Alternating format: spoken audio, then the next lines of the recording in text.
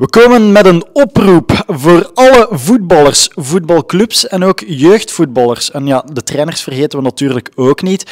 Want we starten met de hulp van de man hier naast mij vanaf heden met de goal van de week, de macro-goal van de week, zowel voor het jeugdvoetbal als voor het volwassenenvoetbal.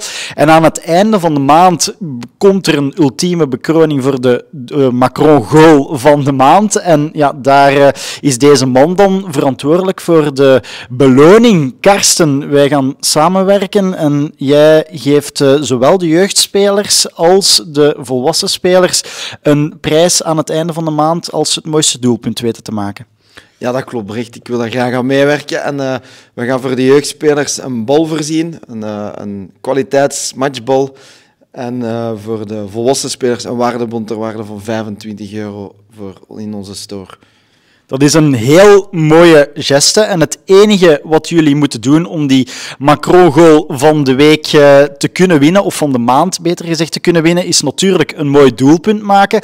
Dat doelpunt filmen insturen naar Sport van Hier. Wij kiezen dan de vijf mooiste. En ja, de ultieme beslissing ligt natuurlijk met de kijkers van Sport van Hier. Die vijf mooiste doelpunten worden wekelijks voorgesteld. En dan is het aan jullie om te stemmen en de winnaar te kiezen. We doen dan aan het eind van de maand natuurlijk nog eens hetzelfde voor het doelpunt van de maand. Zo eenvoudig is het.